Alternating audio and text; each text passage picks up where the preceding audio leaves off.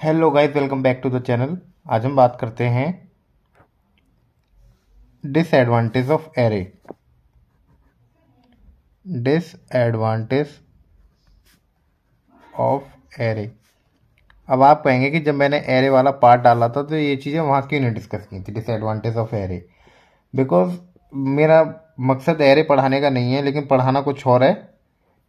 ये बताना पड़ेगा, लेकिन।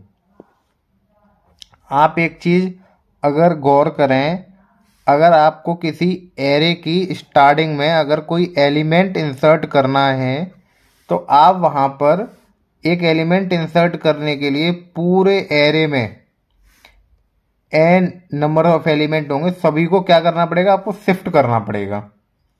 सभी को क्या करना पड़ेगा? शिफ्ट जब जाके आप स्टार्टिंग में एक एलिमेंट इंसर्ट कर पाएँगे। ठीक? तो ये कितना टाइम कंज्यूमिंग प्रोसेस है। पता कितना टाइम कंज्यूमिंग प्रोसेस है। ये अपने आप में एक एरे का क्या डिसएडवांटेज है? ठीक। दूसरा आता है आपका फिक्स साइज़ का।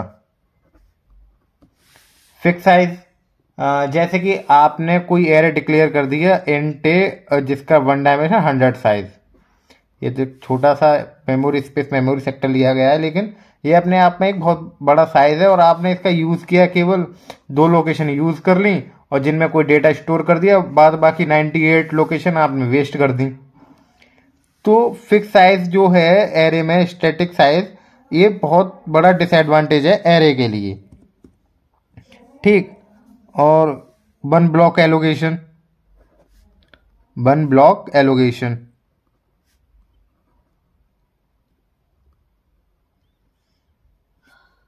it means वही जो कि कहीं भी एरे में कोई भी एलिमेंट स्टोर करना या इंसर्ट करना।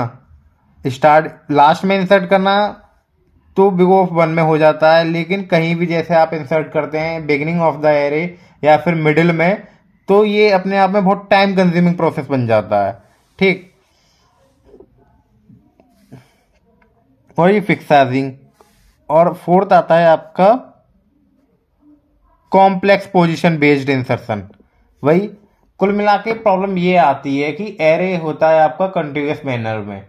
ठीक है? अगर आप, आपको जैसे आपने कोई एरे डिक्लेयर कर दिया, वो आपका फुल हो गया। आपको दूसरे एरे की मतलब कि दूसरे एरे के लिए आपको दोबारा डिक्लेयर करना पड़ेगा, बड़ा एरे और आपको पहले एरे के सारे एलिमेंट उसमें कॉपी करने पड़ेंगे। तो अपने आप में बहुत टाइम कंज्यूमिंग प्रोसेस है ये। तो ये सारे क्या हैं? डिसएडवांटेज हैं एरे के। तो इन डिसएडवांटेज को ओवरकम करने के लिए हम पढ़ते हैं लिंक लिस्ट क्या? लिंक लिस्ट ठीक तो आज का टॉपिक है बेसिकली हमारा लिंक लिस्ट आपने अगर कहीं कई किताबों में कभी ऐसा स्ट्रक्चर कुछ देखा हो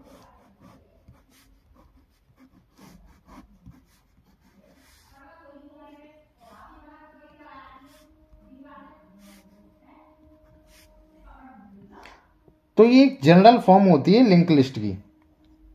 क्या होती है? जनरल फॉर्म किसी लिंक लिस्ट की, ठीक? इसकी एक एज अ प्रॉपर्टी के फॉर्म में मैं कुछ पॉइंट लिखता हूँ तो और उनको यहाँ पे आपके साथ शेयर भी करूँगा कि successive element are handed are held by the pointer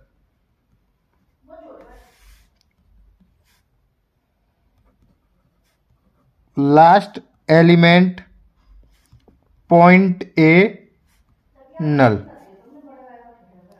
पता, ऐसा होता है कि लिंक लिस्ट आपके, इसमें लिंक लिस्ट क्या एक नोड होती है। इस नोड के दो फ़ीड होते हैं। आपके फ़र्स्ट फ़ीड में आप डेटा इंसर्ट कर सकते हैं और दूसरा फ़ीड आपके किसी दूसरी नोड के एड्रेस को स्टोर करेगा। क्या स्टोर करेगा? दूसरी नोड के एड्रेस को स्टोर करेगा। अब जैसे कि फिक्स साइज़ की प्रॉब्लम थी उसमें। अब इसमें भैया कुछ भी कर लीजिए आप। लास्ट में आप किसी को नल को दूसरी लिंक से पॉइंट करा दीजिए तो फिक्स साइजिंग आपकी खत्म हो जाएगी। और इंसर्शन प्रॉब्लम इसमें इंसर्शन प्रॉब्लम में भी कोई दिक्कत नहीं आती। आप इजीली किसी लिंक के एड्रेस फ़ीड को कट करके जो नई नोड आपको इंसर्ट करनी है, वहाँ पॉइंट करा सकते हैं with the help of pointer ठीक। तो ये सारे की सारे बहुत कॉन्सेप्ट को इजी बना देती है लिंक लिस्ट आपका इंसर्शन इजी हो जाता है और आपका मतलब कि स्टोर करने में भी स्टोर तो हालाँकि एरे में भी बहुत अच्छे से ही जाता है, लेकिन वहाँ पे ना आपको दिखेगा नहीं, लेकिन मशीन जो टाइम कंज्यूम कर रही है इंसर्ट करने के लिए, अब वो सारी चीज़ें यहाँ आपकी लिंक लिस्ट में क्या हो गई? ओवरकम हो जाएँगी। ठीक। तो ये क्या है, ये स्ट्रक्चर है किसी नोड का, जो कि मैंने यहाँ पे नोड डिक्लेयर की थी, जैसे कि ये ये क्या है? ये पर्टिकुलर एक नोड है, इसमें दो फ़ीड हैं, एक डेटा फ़ीड एक एड्रेस फ़ीड तो with the help of structure हम इसको इसको नोड को अब जब प्रोग्रामिंग करेंगे तो कैसे डिक्लेयर करेंगे? तो हमने एक स्ट्रक्चर टाइप की नोड बना ली। उसमें आपका पहला क्या एक नुमेरिक या कैसा भी कोई फ़ीड होगा तो उसका फ़ीड इंट फ़ीड डिक्लेयर कर दिया। और अगली को क्या है, हमने next with the help of pointer से करा दिया और उस नोड को डिक्लेयर कर दिया। ठीक? अब ये क्या है? एक हमारी नोड बन गई। नोड भी होती है फ़र्स्ट पहले नोड को हम हेड भी कहते हैं लिंक लिस्ट में, ठीक? हेड एंड टेल ठीक? तो ये क्या कंप्लीटली एक नोड बन जाती है आपकी। अब अकॉर्डिंग टू द सिलेबस हम डिस्कस करते हैं टाइप्स ऑफ़ लिंक लिस्ट कितनी लिंक लिस्ट होती हैं? तो types of link list basically चार लिंक लिस्ट हमें पढ़नी है। लेकिन हम जो भी एडीटी के अकॉर्डिंग जो ऑपरेशन अप्लाई करेंगे, वो सिर्फ़ सिंगली लिंक लिस्ट के ऊपर देखेंगे। और सिमिलर होती हैं डबली और सर्कुलर लिंक लिस्ट का केवल क्रिएट फ़ंक्शन देखेंगे, और कुछ नहीं। तो सबसे पहली लिंक लिस्ट आती है आपकी singly link list singly link list singly link list कुछ ना सिंगली सिंगली लिंक लिस्ट में कुछ नोड होती हैं जो आपस में one by one sequentially connected होती हैं। सीक्वेंसली कनेक्टेड होती हैं और एक नोड की दो फ़ीड होते हैं। देन फ़र्स्ट में तो हम डेटा स्टोर करते हैं। अब जो ये आपकी नोड है, जो नेक्स्ट पॉइंटर है, जो दूसरी नोड को हैंडल कर रहा है, इसमें क्या है? आपकी दूसरी नोड है ना, इसका एड्रेस स्टोर है। इसका एड्रेस स्टोर है। अब यहाँ पे क्या है? आपका कंटिन्यूस ऐसे एरे की फॉर्म में इस तरह नहीं कि थ्री टू वन इस प्रकार स्टोर है। नहीं। ये ना अब ये इस एड्रेस पे, ये डेटा स्टोर है इसको पता है कि मेरी एक लिंक इधर है और ये इजीली यहाँ से अपने डेटा को एक्सेस कर लेगा। वही ठीक इस फ़ील्ड में। तो ये क्या होता है? सिंगली लिंक लिस्ट होती है। देन अब आती है doubly link list doubly link list तो जैसे पता ही चल रहा है doubly link list doubly link list doubly link list से मतलब ये नहीं कि दो link list doubly link list से मतलब होता है जो आपका फ़ीड है ना। अब उसके एंट्री ब्लॉक थ्री हो गए हैं। ये अभी हम आपको बताएँगे कि ये एंट्री ब्लॉक थ्री हुए हैं तो क्या होगा इनका? अब एक एक तो previous same data next data next and data and next ठीक है? अभी आगे का ब्लॉक का क्या किया हमने? आगे के ब्लॉक को easily we use as a previous pointer मतलब कि इसमें यूज़ करते हैं हम प्रीवियस पॉइंटर को, ठीक? That is the previous pointer all of things ठीक? ये क्या होता है, ये स्टार्टिंग में ये लास्ट पोजीशन तो इसकी नल होती है, ये टेल पोजीशन होती है, और जो हेड होता है, वो स्टोर करता है आपके, वो नल को स्टोर करता है ये भी। इससे ना इजीली आप ना किसी और लिंक लिस्ट को इजीली कनेक्ट कर सकते हैं। ठीक?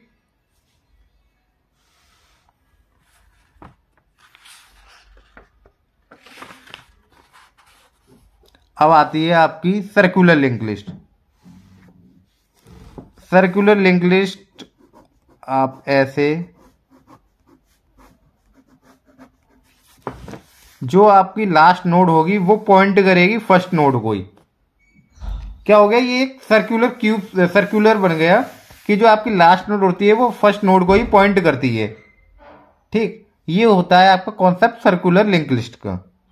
ठीक? वन बाय वन हम सब इनकी नोड स्ट्रक्चर कैसे क्रिएट करना है, वो भी देखेंगे और इनका क्रिएट फ़ंक्शन भी देखेंगे। लेकिन अकॉर्डिंग टू द एडीटी जो ऑपरेशन जैसे कि एडीटी के अकॉर्डिंग आपको इंसर्शन आना चाहिए डिलीशन आना चाहिए और ट्रेवर्सिंग आनी चाहिए किसी भी चीज़ की।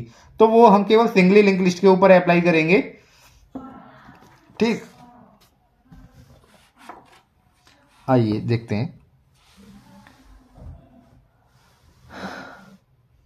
Now we will considered as ADT तो it associate with many function वही लिख रखा है। तो सबसे पहले लिंक लिस्ट को मतलब कि सिंगली लिंक लिस्ट को, पहली सिंगली लिंक लिस्ट है, ठीक है? तो उसका क्रिएट फ़ंक्शन कैसे क्रिएट की जाएगी, वो चीज़ देखते हैं, ठीक है? तो ये मैंने एक पहला पीस ऑफ़ कोड लिया है, जो कि मेन फ़ंक्शन में इसकी बॉडी को एग्जीक्यूट किया है। मेन फ़ंक्शन लिखा है इसका डायरेक्टली ये हेडर फाइल्स इंक्लूड करनी पड़ेंगी। ये नोड है। नोड का स्ट्रक्चर आपको पहले समझाया था कि ये डेटा फ़ीड है और ये नेक्स्ट फ़ीड है, ठीक है?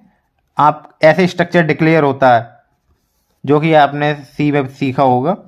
अब मेन फ़ंक्शन में क्या मैंने एक हेड टाइप का पॉइंटर बनाया है, जो कि होल्ड करेगा फ़र्स्ट नोड के एड्रेस को, ठीक है? लेकिन अभी एज अ बेसिकली उसको नल कर रखा है मैंने और उस हेड में एक क्रिएट फ़ंक्शन कॉल करा लिया। क्रिएट फ़ंक्शन वो है, जो कि मुझे जिससे कि लिंक लिस्ट बनानी है। ठीक। आइए देखते हैं कि क्रिएट फ़ंक्शन क्या, कैसे क्या बनाया।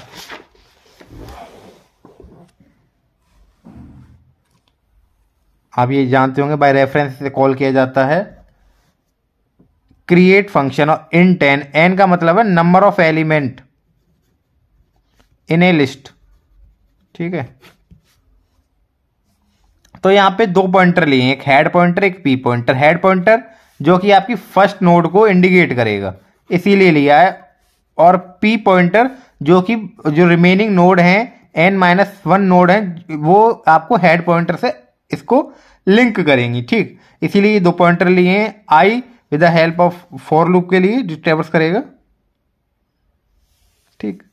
एंटर द एलिमेंट आपने फ़र्स्ट एलिमेंट को एंटर किया। तो हेड में node type data with the help of malloc function एक नोड क्रिएट हो गई होगी, जिसमें टू फ़ीड हुए होंगे और वो आपके हेड में स्टोर हो गई होगी। डेटा फ़ीड हेड के डेटा फ़ीड में स्टोर हो गया होगा और नेक्स्ट को मतलब कि ऐसे कुछ करके ये डेटा फ़ीड बन गया होगा और नेक्स्ट को नल कर दिया होगा यहाँ पे, ठीक है? और एक्चुअल टाइम पे जो आपका हेड है, वही आपका पी होगा। क्योंकि अभी और एलिमेंट तो आया ही नहीं है लिंक लिस्ट के अंदर, ठीक? तो एन की वैल्यू को अब आई से कंपेयर करेंगे और पी के नेक्स्ट फ़ीड में सारी की सारी वैल्यू हम स्टोर कराते चले जाएँगे। और लास्ट में क्या है आपके? हेड करा देंगे रिटर्न को। सॉरी रिटर्न करा देंगे हेड को। और आपकी लिस्ट कुछ इस तरीके से जो क्रिएट हुई होगी, वो क्रिएट नामक फ़ंक्शन में बन जाएगी और हेड के पास स्टोर होगा। फ़र्स्ट आपका जो नोड होगी वो हेड होगी, ठीक? अब ट्रेवर्सिंग किसी लिंक लिस्ट को ट्रेवर्स करना, ठीक? अब इसके लिए ट्रेवर्स करने के लिए जैसी बात है काउंट फ़ंक्शन हो चाहिए कितने एलिमेंट हैं? तो this function use to count the number of node in a link list ठीक है? आपको लिस्ट देनी पड़ेगी उसके अंदर, ज़ाहिर सी बात है काउंट फ़ंक्शन चलाने के लिए। तो पी पॉइंटर जो आगे के, उनको मैनेज करेगा नोट्स को। अभी काउंट की वैल्यू इनिशियली ज़ीरो है। और पी को ही हमने हेड बना दिया इस टाइम पे।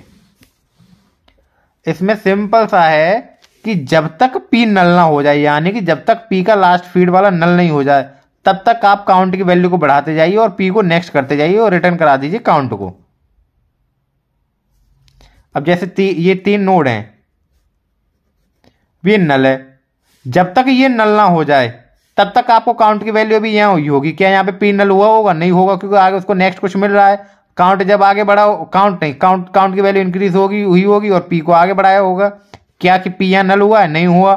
देन काउंट इंक्रीज हुआ होगा पी आगे नल बढ़ा होगा। फिर काउंट अब यहाँ पी की वैल्यू नल हो गई। अब ये वाइल लूप टर्मिनेट हो जाएगा।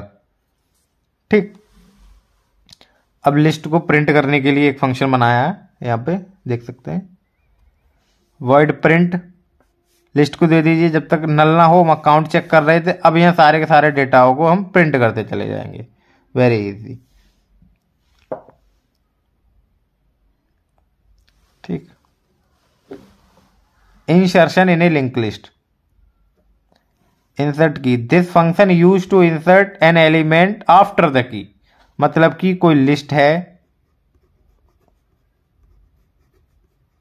उस लिस्ट में पर्टिकुलर किसी पोजीशन के बाद आप कोई एलिमेंट स्टोर करेंगे, उसके लिए फ़ंक्शन है डिज़ाइन किया गया है। ये ये है आपकी रेफरेंशियल नोड है, और ये आपका जो एलिमेंट आपको स्टोर करना है, और इंट की वो है, जिसके बाद आपको एलिमेंट स्टोर करना है। दो पॉइंटर लेंगे ट्रेवर्स करने के लिए, दो नोड बनानी पड़ेगी ना? एक एक तो ये नोड होगी, जो आपको नई बनानी है, जो स्टोर करनी है, और उसका एक नेक्स्ट फ़ीड होगा जो कि इस टाइम पे अभी नल होगा, उसके लिए नोट बनाइए। और पी जो पी पॉइंटर आपने बना, लिया है, वो किसके लिए? जो आपकी हेड हेड से जो लिस्ट है ना, उसको हैंडल करेगा।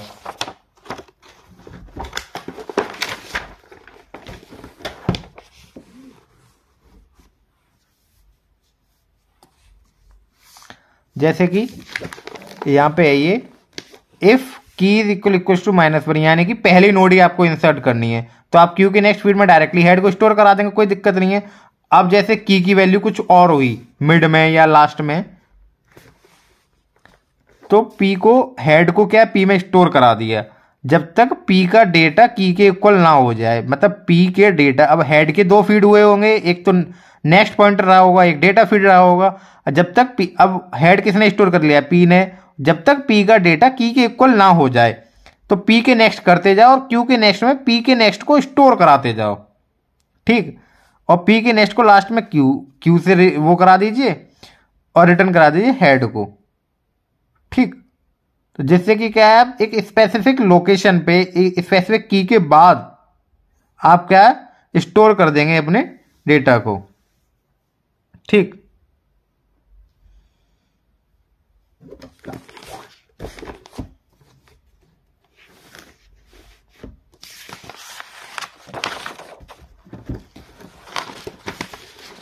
जैसा कि आपने इंसर्शन देखा, अब आप देखेंगे deleting element in the node ये पहला फ़ंक्शन है, ये कि आपकी फ्रंट की नोड आपको डिलीट करनी है, कोई लिस्ट है इस तरीके से।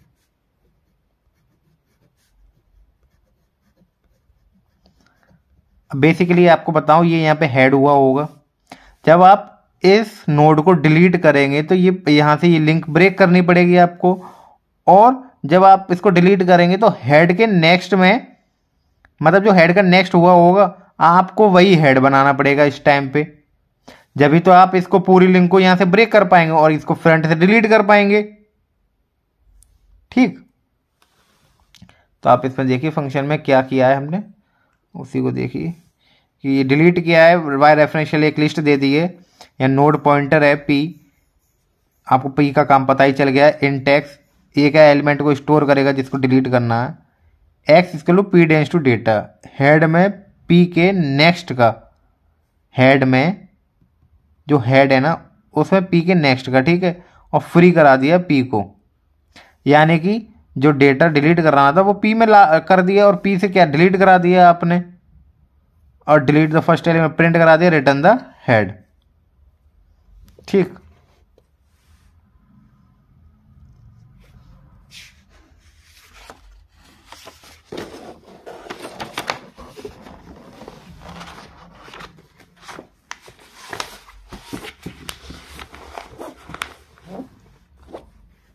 this is also delete location this function used to delete the element at the specific location अब जो आप एलिमेंट डिलीट करेंगे, वो पर्टिकुलर किसी लोकेशन से डिलीट करेंगे, ठीक?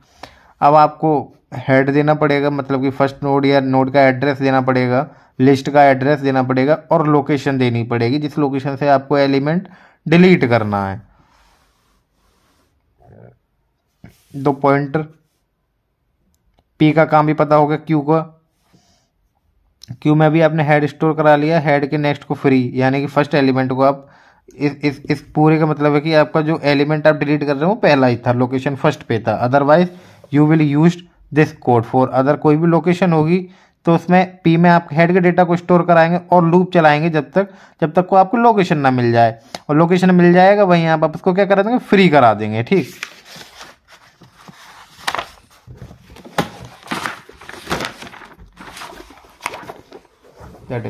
यहाँ पे आप फ्री करा देंगे, ठीक? और जिससे कि आपके जो स्पेसिफिक लोकेशन से जो आपका डेटा वो है डिलीट हो जाएगा। डबल ई लिंक लिस्ट तो जैसा कि डब्ल्यू लिंक लिस्ट को मैंने आपने पहले, मैंने आपको पहले ही बताया था कि इसमें तीन फ़ीड होते हैं। एक प्रीवियस पॉइंटर एक नेक्स्ट पॉइंटर और एक डेटा फ़ीड ठीक? तो कुछ यहाँ पे इसका नोड का स्ट्रक्चर बनाया है। यहाँ पे एक डेटा फ़ीड एक नेक्स्ट एक प्रीवियस जो प्रीवियस फ़ीड होता है, आपकी जो पहली नोड लिंक है, उसका एड्रेस स्टोर करता है, और जो नेक्स्ट फ़ीड होता है, जो आने वाली नोड होगी, वो उसका एड्रेस स्टोर करेगा, ठीक है? दोनों ही एक दूसरे के एड्रेस को अपने पास रखेंगे, जिससे कि इजीली ये ये दोनों ऐसे समझिए दोनों दोस्त हैं। अब कभी कभी मिलते हैं ये दोनों। इसने इसका फ़ोन नंबर और एड्रेस ले लिया, इसने इसका एड्रेस अब इन दोनों को, इसने अपने यहाँ पार्टी रखी तो इजीली इसको ये बुला लेगा। ये अपने यहाँ पार्टी रखेगा तो ये इजीली इसको बुला लेगा। तो इसीलिए ये एक दूसरे के एड्रेस को स्टोर कर रहे हैं, ठीक है? तो हम ज़्यादा कुछ नहीं डबल लिंक लिस्ट के अंदर सिर्फ़ और सिर्फ़ इसका क्रिएट फ़ंक्शन देखेंगे और बस, बहुत इतना ही। Create this function use to create a doubly link list अब देखिए, इसमें ना हमने तीन पॉइंटर ले रखे हेड का तो आपको काम पता ही होगा और पी और क्यू को देखेंगे। पी हैंडल दो आप सिंपल से लगा लीजिए, एक पॉइंटर आपको नेक्स्ट फ़ील्ड को हैंडल करेगा और एक पॉइंटर आपके प्रीवियस फ़ील्ड को हैंडल करेगा। तो वही है नंबर ऑफ़ एलिमेंट ले लिए स्कैन करा लिए और हेड की पहली नोड बना ली with the help of malloc function आप मेलॉक फ़ंक्शन को if you want to write a code आप मेलॉक फ़ंक्शन को जब ही यूज़ कर सकते हैं, जब मेलॉक की हेडर फ़ाइल को आप इंक्लूड कर लोगे। मैंने पहले ही आपको दिखा रखा था, जो पहला मेन फ़ंक्शन के साथ बनाया था कोड जिसमें कि हेडर फ़ाइल इंक्लूड की थी। जब ही ये कोड एग्जीक्यूट होगा अदरवाइज़ एरर ही एरर आएँगे। दोनों फ़ीड को अभी नल कर दिया है और एलिमेंट में जो मतलब एलिमेंट को मैंने एक एक करके हेड फ़ीड के डेटा फ़ीड में डालना स्टार्ट कर दिया है। ठीक है? जहाँ तक डेटा एलिमेंट सारे आ गए और दोनों फीडों को नेक्स्ट करके प्रीवियस और क्यू को दोनों को प्रीवियस और नेक्स्ट पी में स्टोर करा के दोनों फ़ीड को नल कर दिया और हेड को रिटर्न करा लिया।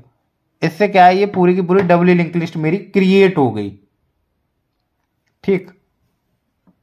आप ये भी अकॉर्डिंग टू द एडिट इस पे भी आप इंसर्शन डिलीशन ऑपरेशन अप्लाई कर सकते हैं। लेकिन ड्यू टू शॉर्ट टाइम हम इतने सारे ऑपरेशन अप्लाई नहीं करेंगे।